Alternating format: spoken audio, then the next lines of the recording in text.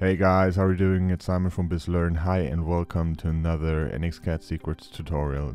Today it's about horizontal modeling, hybrid modeling, and especially Boolean operations and what kind of problems occur when doing it the wrong manner as many many people do. And if you ask yourself now what is a Boolean operation besides unite, subtract, intersect, well, there are a couple of things we can do, especially regarding the hybrid modeling stuff. It's faceblend, for example. Faceblend can be used to combine solid bodies or sheet bodies, or a solid body with a sheet body. And the result might be a solid body or a sheet body, whatever. This is a kind of hybrid thing I'm going to show you. And I have a few Boolean operations within this part. It's one faceblend, another one, and a unite. Well, I think unite is clear. I mirrored something, it gets united. Um, I've created my first body with details, and I've created another body here, and both are combined with each other by using the faceblend. Same thing here. I've created a new body, and it's combined with the first one. Well, I said Boolean operations are mostly, in most of the cases, not very stable. And they have a huge influence to your part, and I show you what kind of problems might occur. Can you see this extrude here? Well, I got my main body here, and you can see the side is, is round. So I needed to extrude a face and combine it with my main body. So this is my face extrusion. It's a solid body here. This is a solid body. I asked my, my training participants to modify this part. So they used to build this part and save it and create the next part, but I wanted them to modify it. I wanted them to, to make this face straight. And it seems so easy. I just, well, said maybe delete this one. And that's what I'm gonna do. And you can see most of the part is even deleted. It's broken. My part is broken. And the question is why? Why do all these things break? Why does this one break? It's the Boolean operation. Let's have a look at, at the past. So I'm gonna go back a few features. You can see my body is, is blue. And I've extruded another one which is green. After combining them, the result is blue. So the second body was green, remember. I've created another one which is red, so my third body is red and after uniting them, my result is red. I've created a mirror body, which is yellow, and after uniting them, it's yellow. Well, the question is, why does the color flip? Maybe think about repairing all this stuff. Have a look at the relations here. My Unite has so many relations. My faceblend has so many relations. Also this one. This one is clear. Anyway, if you have lots of relations within your features, things might break. There are a lot of dependencies, of course, and a kind of chain reaction. If you modify this object, all the rest has to be computed again because of all these dependencies. This is what we call vertical modeling, always selecting the newer object as a reference. Let's do it the other way around. Let's repair this part. So I'm gonna go back a few steps to my first faceblend and I'm gonna open it. And I have to switch those objects. My first object, this is my target. It's a combine command, so it's like a unite. It also asks for a target first. But this is my newer object, the, the extrude 4. So I told you when doing it the horizontal manner, always select your older object first. So that's what I'm going to do, but I have to deselect both first of all. And select my older body first. It's this one. And this is my newer body.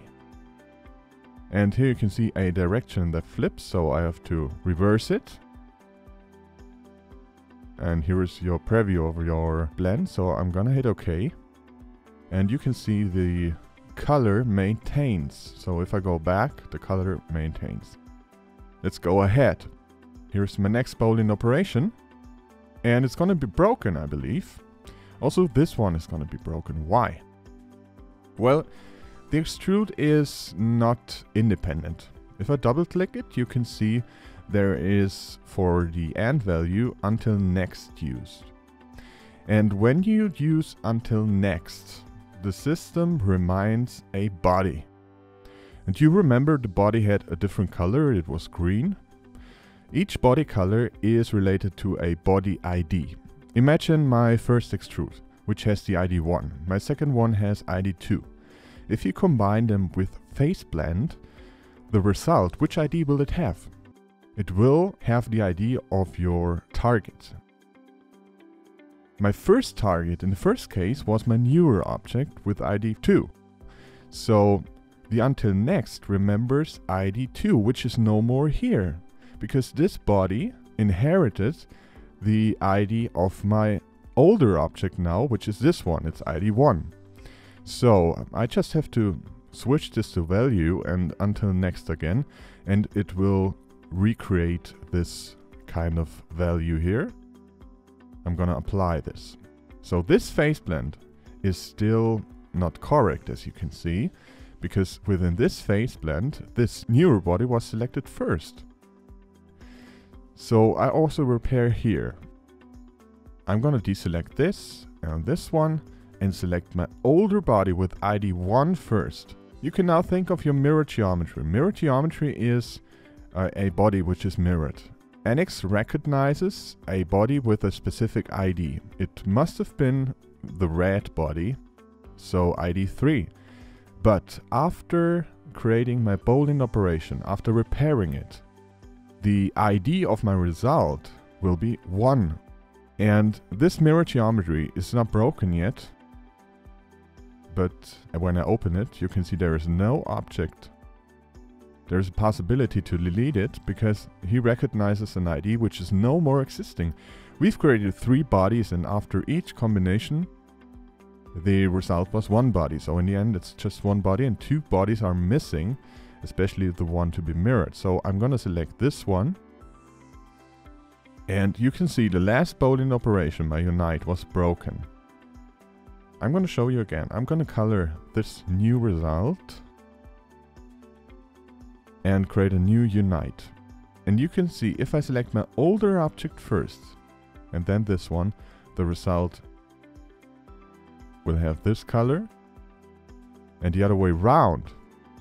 If I select this one first, which is the right object, and you can also see it within the timestamp. You can see it below the cursor, it's solid body of extrude 1. This is still my solid body of extrude 1. First, and here you can see it's my mirror geometry 9. So this is my newer object, second. And the color is blue. And now you're able to delete this. And if you have a look at the dependencies, can you see this? It's all clear. There's only two dependencies. Here, it's a little bit more. But here, you can see it very, very clear. T compared to before, we have less dependencies. What does it mean? Less calculation time, less problems that will occur. Think about it. When you do your Boolean operations, whether it's unite or face blend or trim and extend or a patch or whatever, every kind of Boolean operation, always select your older body first as a target. And let's have a look. There's, if you wonder how colorizing works, if I select my body and hit this button here, edit display. This specific color is related to a specific ID. Everybody has an ID. If you have a look at the body and open the information and scroll down a little bit, you can see the ID is 7421. And if I go to this timestamp, select my body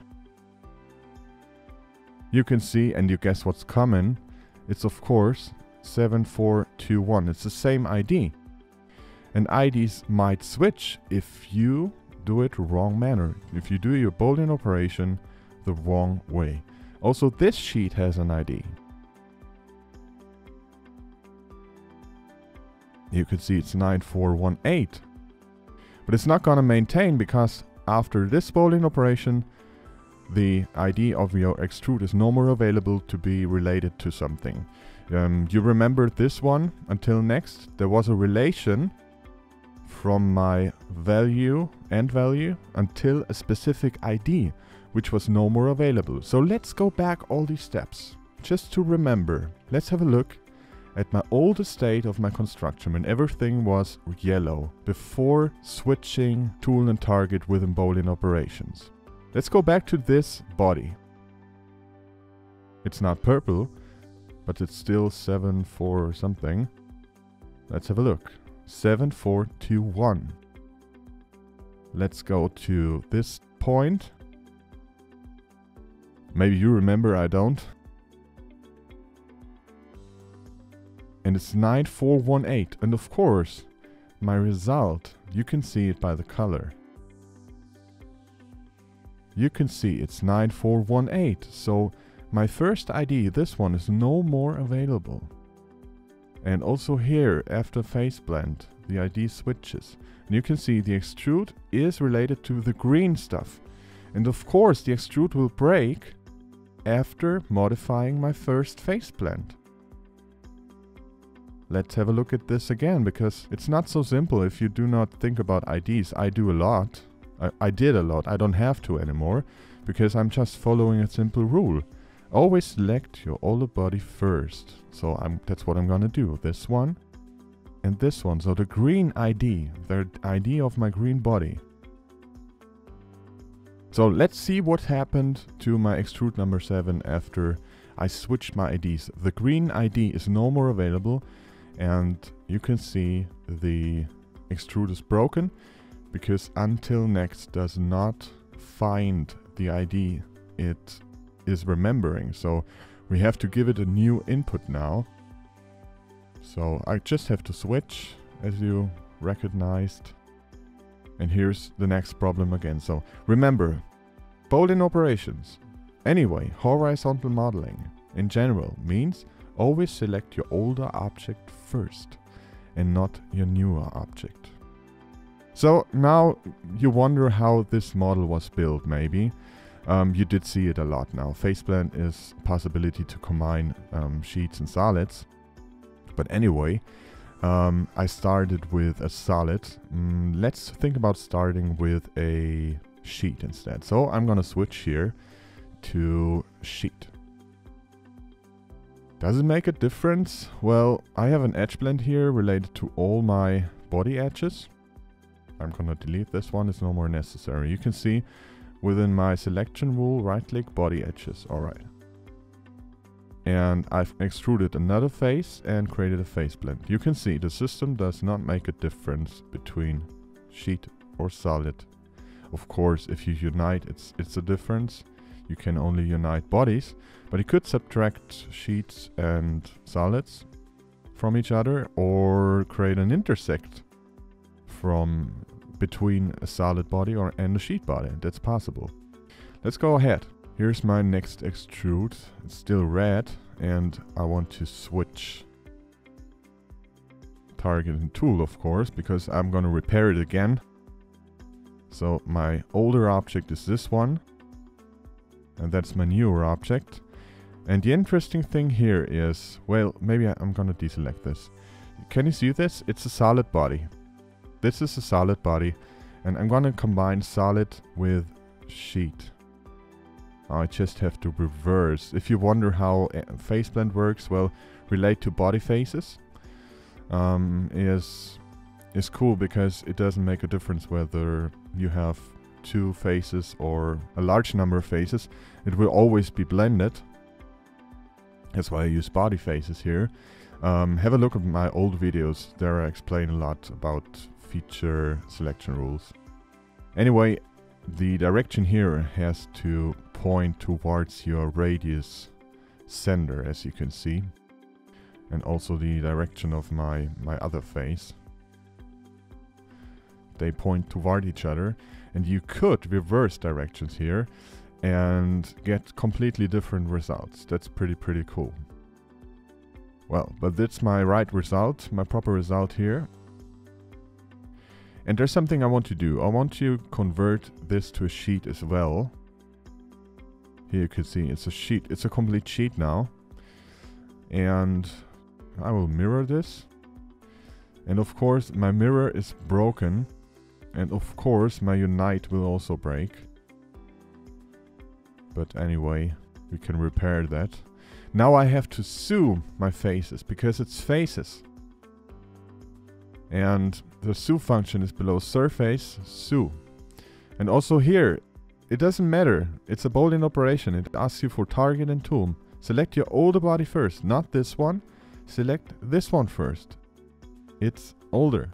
It's my first extrude. Why did I switch to faces? Because I think it's it's more stable. Of course, I have to use thicken here to create thickness. But anyway, creating such uh, sheet parts, kind of sheet metal parts, however, by use of faces allows you to do interesting things. Maybe I want another cylinder here in this area. I would just have to go back. I'm gonna copy and paste this. And position is okay as it is. I just have to move my coordinate system.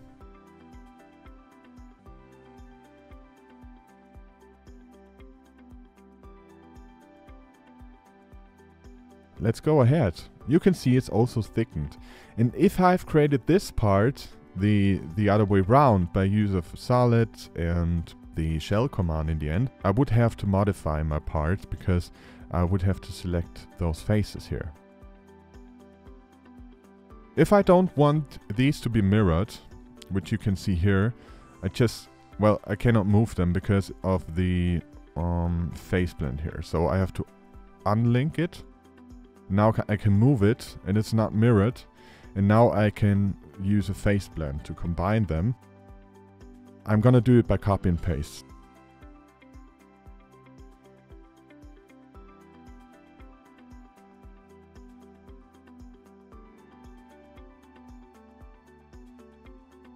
Here we are.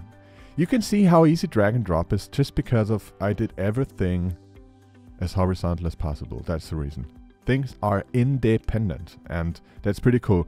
I'm not just doing training parts, I'm doing parts that have thousands of features and they're not getting complex. They're not becoming complex because following such simple rule, horizontal modeling. Thanks for watching. It's a long video again. I hope you enjoyed it. I hope you found something really interesting. Subscribe my channel if you want to be informed about NX CAD secrets, which I'm uploading several times within a week.